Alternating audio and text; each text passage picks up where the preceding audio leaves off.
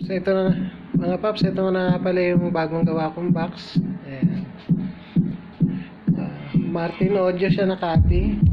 Ah, WS18X.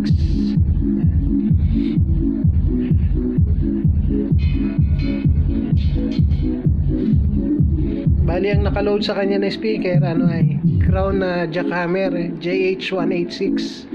Ah, 1,600 watts siya. Ah.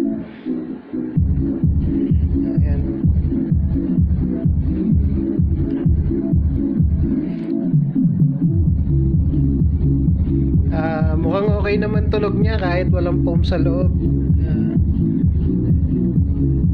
Malambot pa rin naman yung ano niya. Yung yung labas niya kaya tingin ko okay lang kahit wala mo ng foam.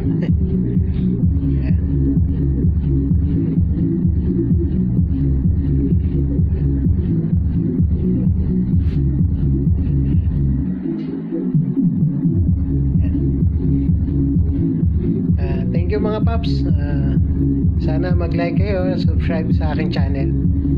Salamat.